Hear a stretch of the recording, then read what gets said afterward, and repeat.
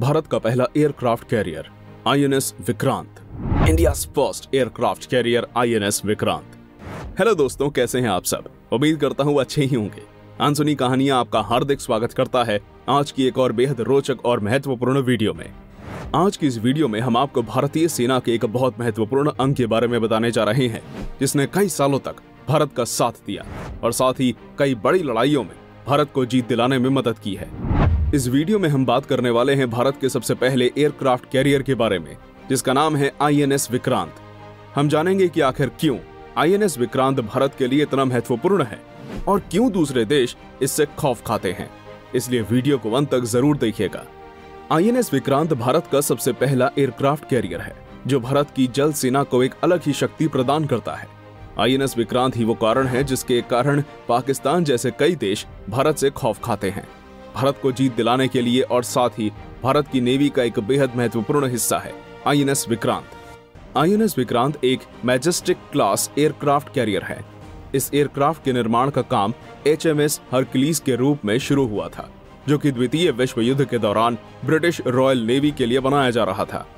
युद्ध के चलते इसके काम को रोक दिया गया और फिर बाद में भारत ने अधूरे बने एयरक्राफ्ट कैरियर को उन्नीस सौ सत्तावन में खरीद लिया।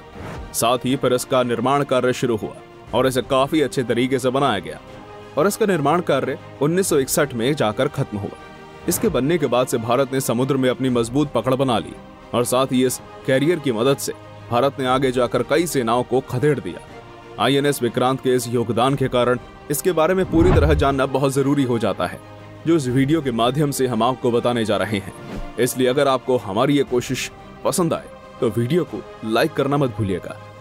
आईएनएस विक्रांत के अगर इतिहास की बात करें तो वो शुरू होती है यूनाइटेड किंगडम की रॉयल नेवी से, जब उसने छह लाइट एयरक्राफ्ट कैरियर्स को कमीशन किया, ताकि वो जर्मन और जापानी नेवीज का सामना कर सके। इन छह लाइट एयरक्राफ्ट कैरियर्स का निर्माण कार्य शुरू हुआ और इसे काफ़ी उन्नत तरीके से बनाया जा रहा था।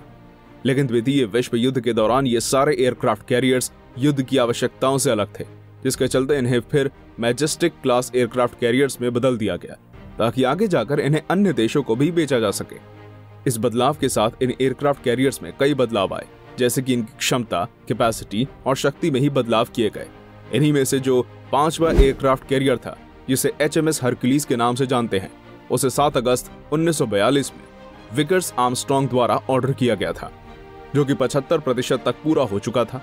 बाद में इसे भारत द्वारा खरीद लिया गया और साथ ही इसे कई बदलावों के साथ ऑर्डर किया गया, जिसमें एंगल डेक स्टीम कैप्टेटस और एक मॉडिफाइड आइलैंड जैसी चीज़ें शामिल हैं। वैसे ये जान लेने के बाद कि भारत के पास कैसे आया और साथ ही इसका निर्माण कार्य कैसे संभव हुआ हमें ये भी जान लेना चाहिए कि आखिर ऐसी क्या खास चीज़ें हैं जो इसे एयरक्राफ्ट कैरियर को इतना खास और महत्वपूर्ण बनाती हैं।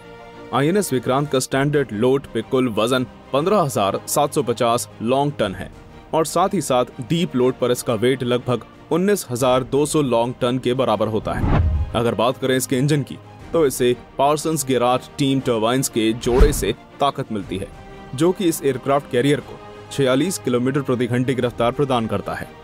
अगर आईएनएस विक्रांत के ईंधन की बात करें तो लगभग 3125 लॉन्ग टन तक फ्यूल कैरी करता है, जो कि इसे 22000 किलोमीटर तक की रेंज प्रदान करता है।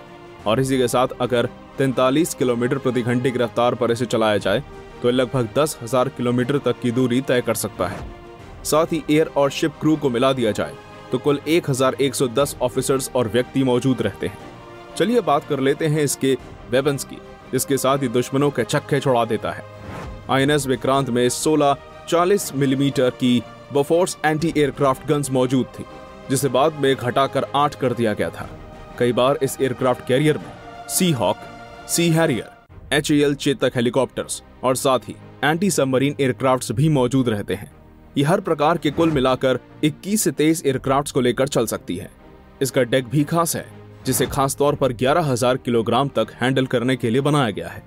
एक चीज़ जो इसे और शक्तिशाली बनाती है वो है L W zero five air search radar एक Z W zero six surface search radar और टैक्टिकल रेडार के साथ ही इसमें कई और कम्युनिकेशन सिस्टम्स मौजूद हैं जो आईएनएस विक्रांत को काफ़ी ताकतवर बनाते हैं। इंडिया का पहला एयरक्राफ्ट कैरियर, आईएनएस विक्रांत के रूप में 4 मार्च 1961 को बेलफास्ट में विजय लक्ष्मी पंडित ने कमीशन किया था। इसका नाम विक्रांत इसलिए रखा गया क्योंकि विक्रांत का मतलब होता है साहसी और अडिग। 18 मई 1961 को इस कैरियर की डेक पर पहला एयरक्राफ्ट लैंड किया, जो कि राधा कृष्ण हरिराम तहिलानी द्वारा कराया गया था, जो कि लेफ्टिनेंट थे। 3 नवंबर 1961 को विक्रांत ने बॉम्बे की नेवी फ्लीट को ज्वाइन किया। इसके बाद इसे ऑपरेशन विजय के लिए डिप्लॉय किया गया था, जो कि गोवा की आज़ादी के लिए था। लेकिन उस ऑपरेशन में इसका कोई खास महत्व नहीं रहा। लेकिन फिर भी ये किनारे के आसपास पेट्रोलिंग करता रहा और दूसरे जहाजों की दखलंदाजी के बचाव के लिए लगा रहा। जब भारत पाक युद्ध की तैयारी शुरू हुई तो ईस्टर्न नेवल में आईएनएस विक्रांत को असाइन किया गया। इस फ्लीट में आईएनएस विक्रांत, दो leopard class frigates, INS Brahmaputra, INS Beas, Petya three class corvettes INS Kamorta, INS Kavaratti, एक सबमरीन आईएनएस खंदरी मौजूद थी। इस फ्लीट को मज़बूत बनाने का सबसे बड़ा मकसद पाकिस्तान के इरादों को नास्ते नाबूद करना था। इसमें से सबसे महत्वपूर्ण था पीएनएस गाजी को रोकना, क्योंकि उसी से आईएनएस विक्रांत को सबसे ज़्यादा खतरा था। पाकिस्तान आईएनएस विक्रांत की मजबूती को समझ गया था, और इसलिए वो कहीं ना कहीं इस निशाने पर लिए हुए था। तेईस जुलाई को विक्रांत कोचीन गया, वेस्टर्न फ्लीट के साथ। इसके बाद सी किंग लैंडिंग ट्रायल्स शुरू हो गए और फिर आईएनएस विक्रांत रवाना हो गया।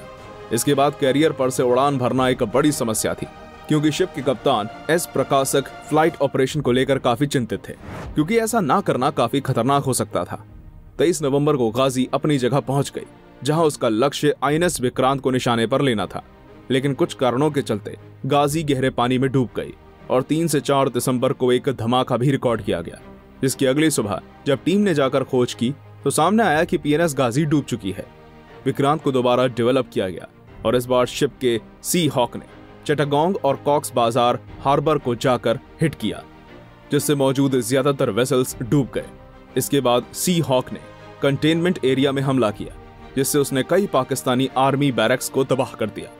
इस कमाल के समर्थन के चलते आईएनएस विक्रांत और उसकी टीम ने दो महावीर चक्र और बारह वीर चक्र मेडल्स हासिल किए।